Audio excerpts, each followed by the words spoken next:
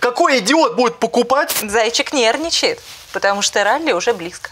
Яночка, ралли это миф. Ты говоришь, компания Apple перегрета? Появилась самая дорогая компания в мире. Я тебе не верю. Снег падает, газ падает, б***ь. Трамп его держит. Да-да-да-да-да-да-да.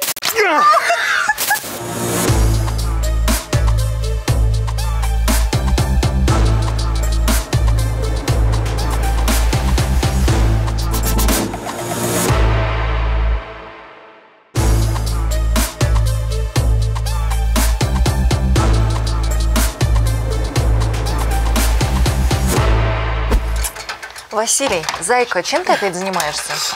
Не видишь, рынки разворачиваю. Ты думаешь, поможет? Слушай, если это не поможет, куплю бубен и с шаманами поеду на Уолл-стрит.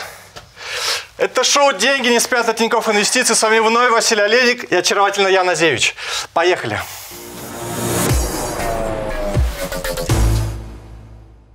Так, друзья, начнем со звездного портфеля. В прошлом эфире в нашей студии был гость, звезда Ютуба, Стас, канал «Ай как просто». Он порекомендовал, в принципе, и сам купил акции компании AMD, которые за неделю прибавили еще 2,3%. Но вот смотрю, с Яндексом ему не очень повезло, минус 2,6%. Их он взял исключительно в качестве шутки. А вот что касается AMD, мне же было ой как сложно в прошлом эфире. Я погрузилась в эту тему и узнала о том, что компания AMD будет выпускать в 2021 году уже 5-нанометровые техпроцессоры, а помогать ей в этом будет TSMC. Именно поэтому бумаги на этой неделе продолжили свой рост. А вот самое забавное, это компания Intel, лидер э, на рынке микроэлектроники, они, к сожалению, пока только 10-нанометровые решения разрабатывают, чем портят себе перспективы бизнеса. Яночка, это, конечно, круто разбираться в бизнесе компании, разбираться особенно в технологиях, там, в процессорах, во всем. Но понимаешь, ну, э, цена акций не всегда зависит от от продукции, которую производит компания. Какая бы она была крутая, но акции зависят от многих факторов. Вот посмотри, конец 2018 года. Надо было этот, э, эту историю показать и объяснить тоже Стасу. Падение акций AMD на 50% за один квартал. Акции Микрона тогда упали на 60%, Intel упал на 40%. А все почему? Тогда упал весь Что, рынок. ми- микропроцессоры протухли, спрос Если на них ты упал? спрашиваешь меня, то это сделал ФРС. Ну, ты-то, конечно, знаешь. но Американский такие, как- регулятор. такие, как Стас, не знают, что ФРС переборщил немножко с повышением процентных ставок и обрушил рынок. Поэтому, конечно, бизнес бизнесом, процессоры процессорами, но надо глобально изучать, что происходит на финансовых рынках. Вернемся к моему портфелю. Здесь э, за неделю практически нет никаких изменений, э, но я убрал несколько позиций. Продал акции компании Chesapeake Energy. Компания выстрелила за три дня на 20%. Я продал ее, правда, в маленьком плюсе, плюс 5% всего. Потому что у меня два единорога, я ставил второго. South Western Energy, это тоже газовый гигант. И уж если э, дела в этом секторе пойдут хорошо, это, эта компания тоже может выстрелить процентов на 100. И продал индекс VIX, индекс страха, индекс волатильности. Продал его тоже с минусом 7%. Хотя минус в моменте был 20%. Он тоже отскочил на 13 в понедельник или во вторник. Мои ставки по-прежнему вниз, и они оправданы. Давай посмотрим на технику. Технический срез, вот, например, 2018 года. Красивый тоже был восходящий канал, из которого, из которого мы вывалились в конце э, прошлого года падение на 25%. Сейчас еще круче картинка рисуется, широкий такой клин. Да, у нас попытки отбоя от верхней границы с целью нижней границы, нижней границы на отметке 3000 пунктов. В принципе, это пока вот в рамках коррекции. Чего я жду? А уж если 3000 пробьем, то там уже практически обвал до 2800. Василий, я, конечно, возможно, подпорчу тебе настроение, но меня смущает вот эта свечка. Я разбираюсь в свечном анализе, если кто-то еще в этом сомневается. И она говорит о продолжении бычьей тенденции к уровню 3300 как минимум. Ну давай, да, отчасти ты права, потому что если из клина мы выйдем наверх, конечно, мы добьем до верхней границы э, вот этого долгосрочного восходящего канала, который берет свое начало с 2008 года. Ему практически 10 лет, и действительно мы можем дойти до верхней границы. Но, э, Яночка, время покажет.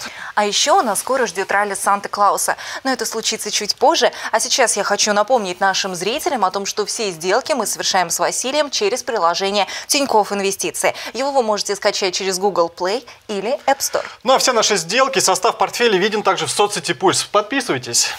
С моим портфелем все по-прежнему хорошо. Он растет, увеличивается прибыль. Сумочки мне не хватает, блядь. Рынок, рынок вот этот скоро рухнет. Достал ты уже со своим рынком, скоро рухнет. Не рухнет он, не поможет тебе эта голова. Я ее в конце года вообще сниму, понятно? Зарезу на эту стремянку и сниму. А, коррекции так пока и не случилось, и вряд ли случится. А вообще я верю в ралли. Яночка, ралли это миф. Сейчас мы с тобой это обсудим.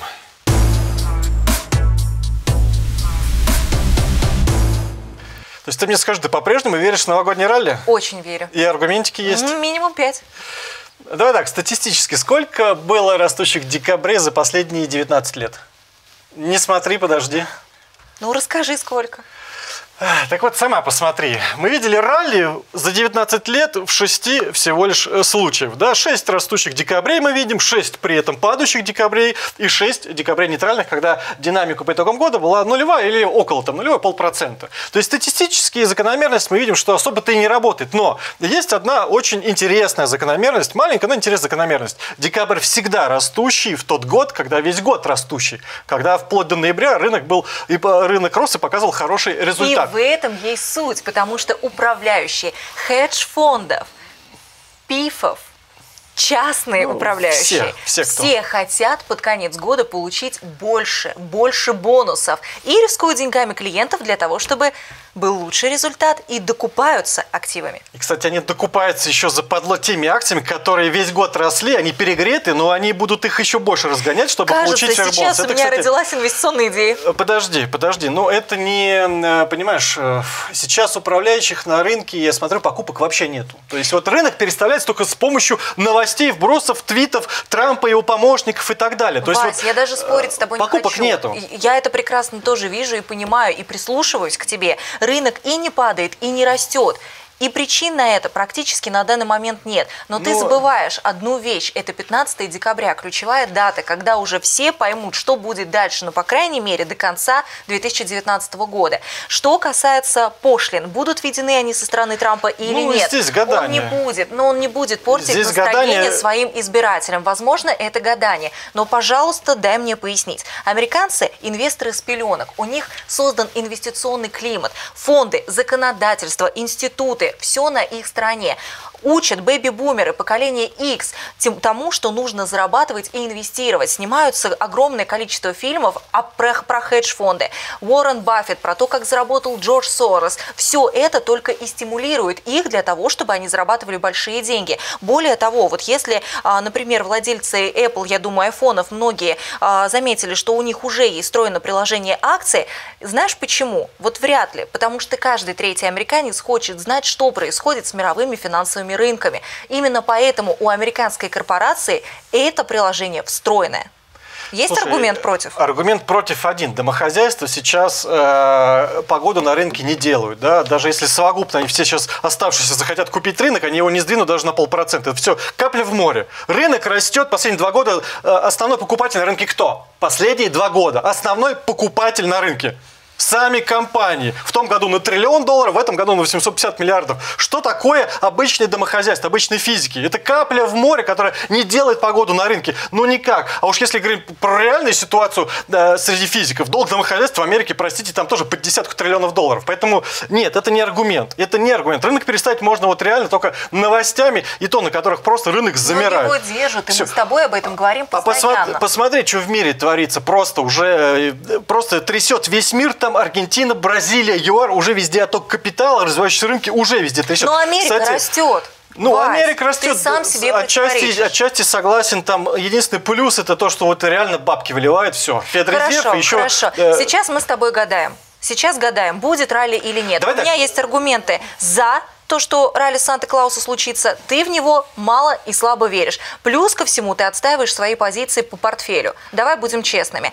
Ну, Предлагаю тогда перейти давай к так, сути. Давай не будем делать ставки на э, новогоднее ралли. Не знаем, оно будет или не будет. Никто не знает. Давай заодно, э, за, давай лучше выберем тех компаний, которые гарантированно выиграют от новогодних праздников. Ну вот эту идею я поддерживаю. Есть. И, соответственно, здесь получается, если будет новогоднее ралли, я думаю, что они тоже выиграют и тоже поднимутся. А если... Либо не сильно упадут. А если рынок будет э, вдруг падать в ближайший месяц, то в любом случае эти акции должны взлететь уже в январе или феврале по факту выхода хороших отчетностей. Поэтому, э, давай так, кто, э, на твой взгляд, выигрывает от новогодних э, праздников? Тебе не очень понравится. Мне кажется, что перегретые бумаги Apple еще могут подрасти. Этот аргумент звучал за ралли, и его можно включить еще и за рост данных Не, ну бумаг. эта тварь Более может того, подрасти, потому что у них до конца года байбек, который они объявили там на 80 Не гердов. только и- байбек. Если ты Какой думаешь... придурок будет покупать компанию, блин, у которой просто даже в последнем квартале просто и год году, и квартал кварталу падает прибыль? Вась, ну какой в своем видят. уме? Это мы видим. Кроме Тима Кука, идиотов, наверное, в жизни в Падение нету. прибыли, падение выручки, безусловно. Но в этой компании сидят не дураки и активно развивают другие бизнес-направления. У тебя новый телефон? Они запустили в этом году Новый стриминговый телефон? Новый сервис. телефон? Новый телефон, стриминговый Ой, а сервис. а чё в нем Apple? TV, который А станет конкурентом? Netflix. А ты меня не перебивай, ты лучше послушай аргументы. Если ты с ними не будешь согласен, приведи контраргументы. А пока послушай, не надо меня троллить.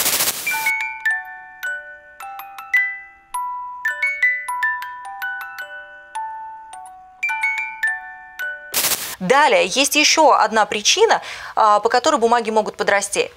Это звонки Трампу. Помнится мне, что ты нашим зрителям рассказывал о том, что есть только один человек, который может ему звонить. И это, напомни, Тим Кук? но, думаешь, не позвонит? Позвонит. Более того, все хотят iPhone. Ну, многие, ладно, сейчас утрирую прям, что все. Многие хотят iPhone. Ну, я не согласен, что... э, вот давай, до Нового года компания может подрасти. Это один из самых потому что это, подарков. э, rea- Слушай, это просто, если мы разбираем э, акции сейчас, а не выручку от новогодних праздников, да, то сейчас акция может до конца года чувствовать, наверное, реально лучше. Ей тянули весь год, и ей могут дотягивать еще весь год, согласен. Ну, поживем, увидим. э, Давай выручка, посмотрим на операционный Выручка. Давай поспорим с тобой, не знаю, на что-нибудь. Э, Выручка На iPhone. Apple за, за, за последний квартал, за четвертый, куда войдут праздники, да, год году Давай. не вырастет, то упадет. Давай поспорим. Нет, не такая постановка. Ну Не что? такая. Ну ты же Вырастет, ставишь, что- либо не упадет сильно. Нет, мы говорим... с этого о- начали. О, давай о прибыли компании за четвертый квартал, год году сравним. В этом году за счет новогодних праздников компания заработает меньше, чем в прошлом году. Готовы поспорить? Ну подумай, потом за кадром обсудим. В а еще, а еще идеи есть? Слушай, Ну, тебя- раз ты, раз ты так топишь против Apple, предложи мне что-нибудь. Ты же у нас Я смотрю, у тебя лямки. Аналитик. Лямки, лямки. разбираешься Э, в том, когда и в какое время падал и рос американский фондовый рынок. Посоветуй, ну какие бумаги? Вот мне лично. Ну вот я смотрю на твои лямки, у тебя Amaze. Кроме вот э, Amazon, Apple, Alibaba, ты до буквы Б еще не доходила ни разу? Мне кажется, если ты будешь продолжать в том же духе, я дойду до буквы «П». Э, Смотри, а, кто гарантированно выиграет на новогодних праздниках? Сервисы бронирования отелей.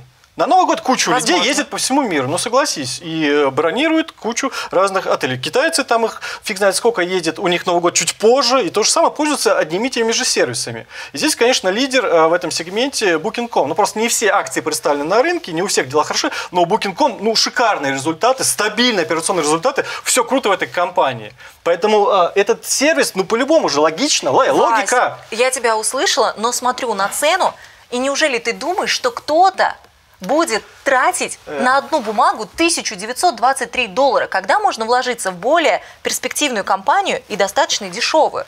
Например, ритейл. Слушай, ну да, дороговатая акция, могу что-нибудь сейчас другое подобрать, но просто все равно динамика, посмотри, э, 2017 год начался с роста, 2018 год начался с роста, 2019 даже год тоже начался э, с роста, хотя потом был в январе Ну. э, провал. Но просто, по крайней мере, мы видим, что динамика там э, января пока у компании позитивная. Хорошо, Вот. в пределах м, 100 долларов есть какая-то компания? Окей, ну давай так, если не сервисы бронирования отелей, которые выигрывают, э, сайты знакомств, они тоже выигрывают от новогодних праздников. Но у нас тут крупнейший кто? Ну, Match Group мы разбирали, и, компания, Ну, и, и- и Tinder, да. А, Это крутая тема, но там больше по День Святого Валентина даже стоит покупать. Хотя, может, и сейчас. Да, есть Facebook, но он, да, у него как раз и от рекламы идет больше э, прибыль э, за счет новогодних праздников. И тоже люди там пытаются знакомиться, что-то коммуницировать. Но, слушай, э, вот э, не хочу эти компании разбирать. Есть одна, которая мне понравилась, потому что у нее охренительная закономерность. Это все-таки китайский сайт знакомств, ну, компания Мома. Давно я за ней не смотрел, и когда, слушай, взглянул э, буквально вот вчера э, и посмотрел динамику за последние несколько лет и закономерность. Посмотри, что было в 2017 году с января по, э, по, по, по лето, там, да, первые пять месяцев, вертикальный взлет там на 30-40%. Аналогично было с января 2018 года взлет на 30-40%. И аналогично было с января э, в 2019 году. Четыре растущих месяца Вась. в четырех годах подряд. Вась. Ралли начинается с января. Такое ощущение, ну, у китайцев Новый год чуть позже. нет. Наверное, китайцы все Это- знакомятся, чтобы поехать вместе отдыхать. Это, и безусловно, классная идея. И бумаг достаточно привлекательна Ну. по цене 36,81. Но вот когда а, люди встречаются, знакомятся, что Влюбляются. происходит? Влюбляются. Ну, там это дети, потом в это все. Чё? Правильно, появляются дети. Ну вот, а мы да. же говорим сейчас о том, как заработать на Новый год. Да. Ты забываешь о том, что родители дарят, дарят своим А. детям подарки.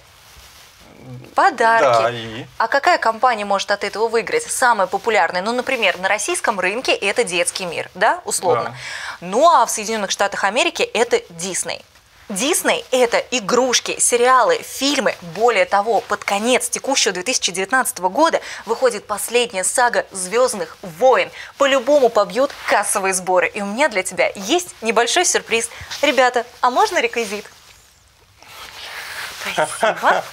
Держи тебе красненький. Красненький. И Красненький. это еще одна причина для роста данных бумаг. А знаешь еще какая есть? Для того, чтобы нашему зрителю было понятно, на примере России, детский мир зарабатывает. Но когда вы заходите в этот магазин, вы видите Лего с наклейками Marvel. И это Ну да, тоже, Дисней. тоже Disney. И на этих продажах они тоже получают свои бонусы. Слушай, ну Дисней, давай так, это компания, вот одна, с которой мы с тобой вместе сошлись во мнении, это единственная компания пока что там.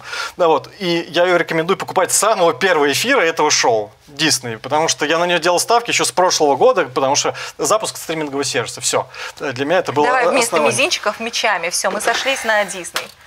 Вот. Не является инвестиционной Инвестиционные идеей. ре- рекомендации. да. Но, Идея а, понимаешь, здесь есть, смотри, э, один маленький нюанс. Вот э, в чем э, плюс? Мы можем купить э, интересные компании, э, э, которые выиграют, но в случае выигрыша новогодних праздников э, прирост э, в с- в случае хорошего отчета будет не, не, не столь большой, там, ну, на 3% акций подрастут, на, Посмотрим. на 5%. Ну, ну, не, но Disney, Apple, они не вырастут на 30-40% в случае неожиданных позитивных результатов. Но есть такие сегменты компаний, которые могут стрельнуть, блин, десятки процентов.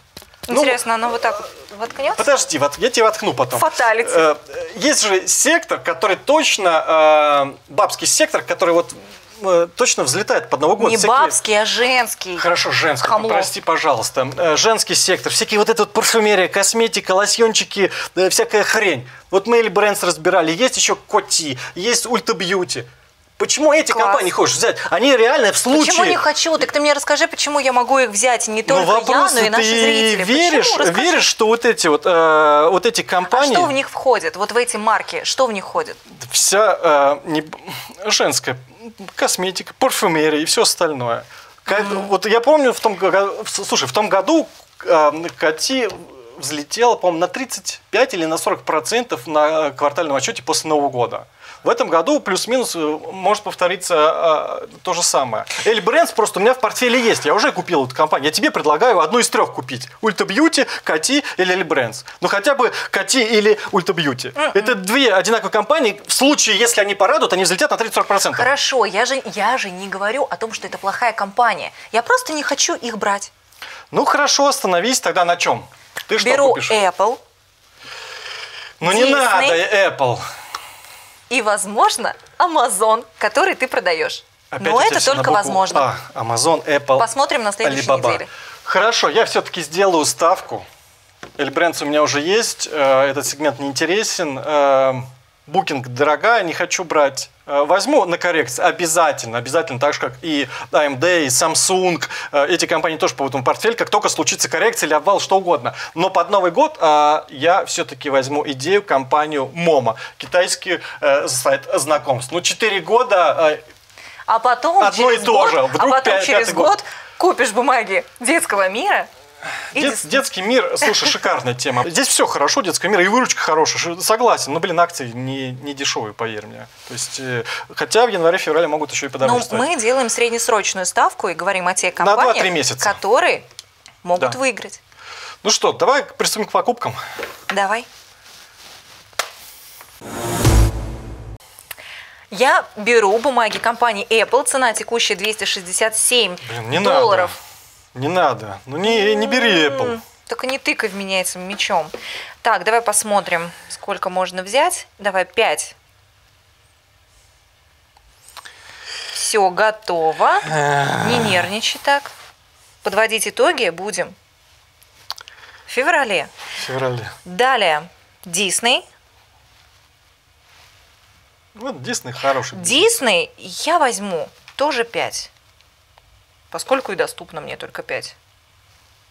Денежки кончаются. Либо зарабатывать нужно, либо у тебя еще лям просить. Все, я купила. Дам лям, когда рынок упадет, или там деревянная лошадь обосыться, не знаю, дам лям попозже. Что купить? Мома. Я добавлю в портфель эту компанию. 27 лотов как раз получится на ровно на 1000 э, долларов там с копейками, да? Да, 1020. Все, еще одна инвест-идея с прицелом на э, месяца 3. Оценили приложение, приложение крутое, спасибо. Не оценил. Опять. Ну что, Яночка? Ставки сделаны, ставок больше нет в очередной раз. Блин, ну денежки кончаются. Нужна коррекция, капец. Хочешь лям? Нужна коррекция. И сумку. И сумка. Всё.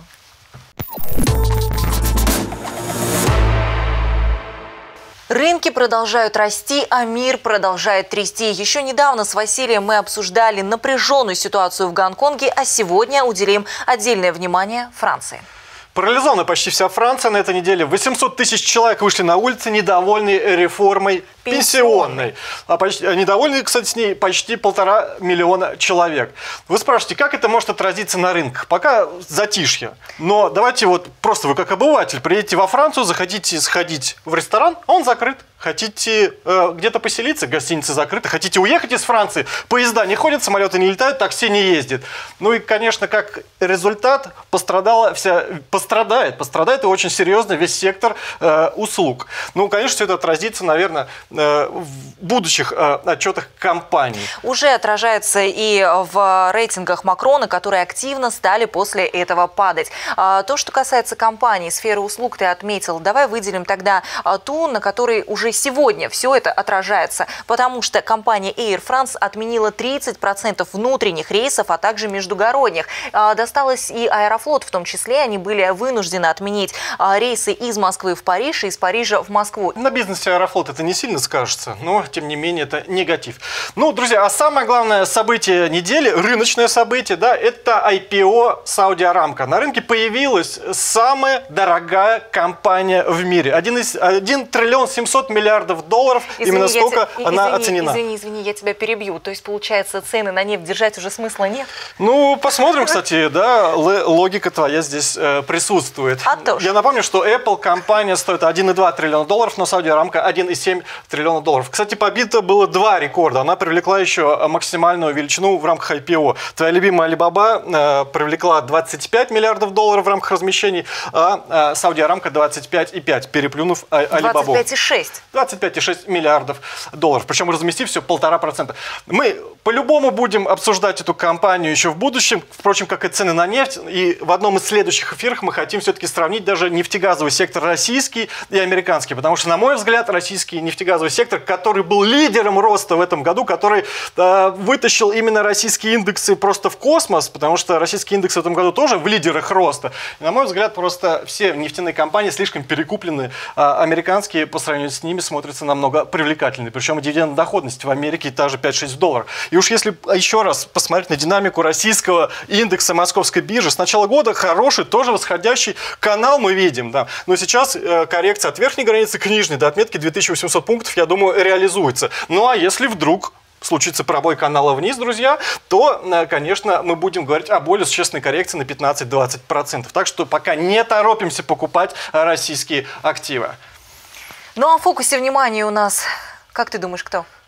Трамп, Дональд Трамп. Дональд Трамп, который в очередной раз отжег, отжег на мировой арене. Ну, кстати, да, в понедельник просто прям, э, не знаю, что, что-то, наверное, не с той ноги, наверное, встал, потому что наехал практически на весь мир. Началось все э, с Аргентины. Несколько лет назад началось Н- все. Началось все с Бразилии и с Аргентины. Э, Он обвинил страны в искусственном якобы, э, в искусственной якобы девальвации национальных валют. Хотя валюты падают по причине оттока капитала по причине того, что ситуация в экономике ухудшается. А этим утром глава Минфина Соединенных Штатов Америки Стивен Мнучин заявил, что курс доллара определяет рынок, и никто им не манипулирует. Охренительно. Как мне вот эти нравятся двойные стандарты. Если вообще весь мир видит, как Дональд Трамп каждый день пишет в своем твиттере, давит на ФРС, мол, опускайте ставки дальше вниз, мне нужен более слабый доллар. А Мьючин говорит, нет, курс доллара определяется рынком. Нет, он определяется Трампом, его хотелками. И реально это достали эти двойные стандарты. Понедельник, вторник у нас хороший был обвал на фондовых рынках. Два дня падали, падали почти Так его на- выкупили на сразу 3%. на одной Подо- новости. Подожди, новость была какая-то фейковая. Еще раз, я просто хочу да- дать понять людям, на чем мы падали. Трамп обозлился на весь мир, вел на Аргентину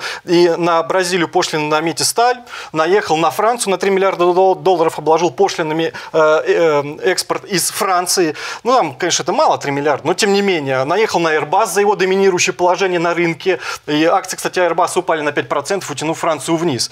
Но больше всего, конечно, меня поразило э, за его заявление, э, когда он выступал в Европе, у него было турне в Европе, э, что, мол, сделки с Китаем, возможно, не будет, друзья, до следующих моих президентских, мол, выборов. И вот это как раз и послужило таким финальным ускорением рынка вниз. Но в среду утром в 11 утра Новость в Блумберге выходит со, со ссылкой на неосведомленные, мол, свои источники, что сделка нет готовится, друзья, и она близка, и, возможно, будет, может быть, даже в этом году. А вброс этой новости появился именно в тот момент, когда S&P 500 достигла отметки в 3075. В очередной раз мы убедились, что рынок держит. Ну, держит, да, мы а- об этой отметке еще неоднократно упоминали в предыдущих выпусках, потому что действительно пробой отметки 3070 пунктов вниз а, быстро отправит индекс к отметке 3000 пунктов, а уж пробой этой отметки, соответственно, там вообще откроет дорогу до 2800. Держит, держит, твари просто держат. Причем, видите, на новостях денег уже в системе нет, не хватает, но новых особо не поступает, поэтому держат банально на новостях. Но в любом случае, друзья, будьте аккуратны. Теперь есть четкая дата, четкий дедлайн абсолютно для всех. Это 15 декабря. Э, Все теперь гадают, ведет Трамп дополнительные пошлины, даже он не дополнительно, он хочет вообще весь экспорт китайский теперь обложить пошлинами или не ведет. Как мы видим, рынок пока более-менее спокоен. Большинство участников рынка не верят, что Трамп пойдет на такой шаг, потому что это поставит полностью крест вообще на все сделки. Но это воскресенье. И будьте внимательны, потому что в понедельник может быть, конечно, либо обвал, либо все-таки мы задерг вверх на 2%. Либо очередной Слушай, фейк-ньюс. ну мой, мой, вот э, логика у меня э, с- одна. Э, Мы видим, э, как разыгрывается та же карта, что и разыгрывалась в августе месяце. Трамп давил на ФРС, чтобы он снизил ставки запустил печатный станок.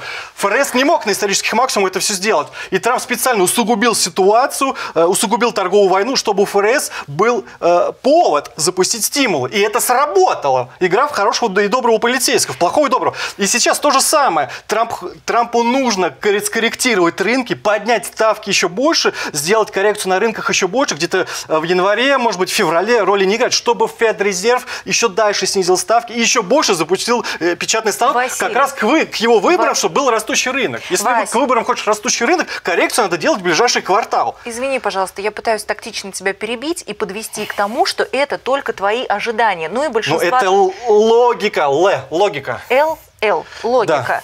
Ждем 15 декабря, и вот после этого ты уже будешь озвучивать свои ожидания. Хорошо. Давай так. А пока готовимся к рождественскому ралли. Вась, у тебя постоянно одни эмоции. У меня вот реально складывается ощущение, что когда зрители смотрят, они не понимают, о чем мы говорим. Мы озвучиваем просто новости, фундаментальный анализ проводим. А когда ты говоришь, что Америка бахнется, даже у меня возникает вопрос, почему? Слушай, Как- ну подожди, ты прекрасно знаешь, что сейчас там 90% операций на фондовом рынке делают роботы. Маркетмейкеры, арбитражол, алгоритмические фонды и так далее. 90% всех операций в России пока 75. И ты понимаешь, вот э, еще раз, я работал во многих компаниях э, и прекрасно знаю, что такое алгоритмы и что такое, э, как у алгоритма задается параметр тренда. Вот сейчас рынок растущий, они выкупают любую просадку.